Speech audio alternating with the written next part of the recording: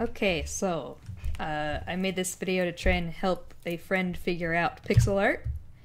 Uh, first thing I have to say is make the original uh, size uh, the size you want to work with.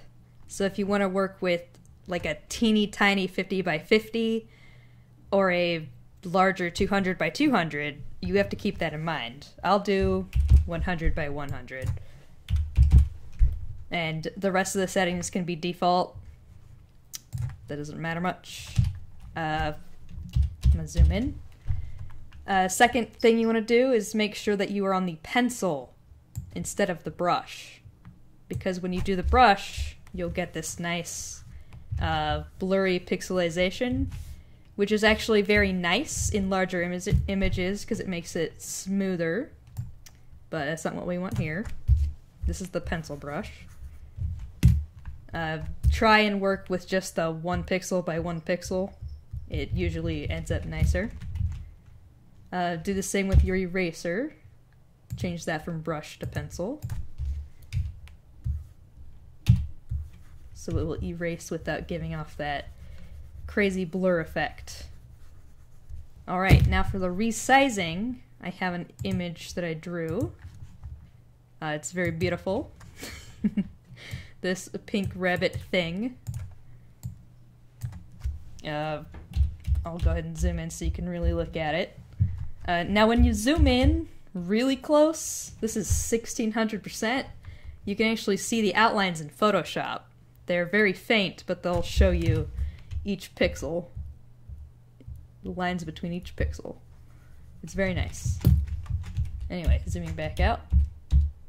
Eventually they'll disappear. And we're going to resize it. So go image, image size. Uh, try to do the pixels and not the percent or the inches because you don't want it to look wonky. And what I mean by that is you want to keep it at a uh, like a nice round number. So instead of doing something like uh, 225 pixels, uh, which when you zoom in, you'll realize that the program is trying to figure out what to do with the pixel space and just add it in by itself which is not something you want.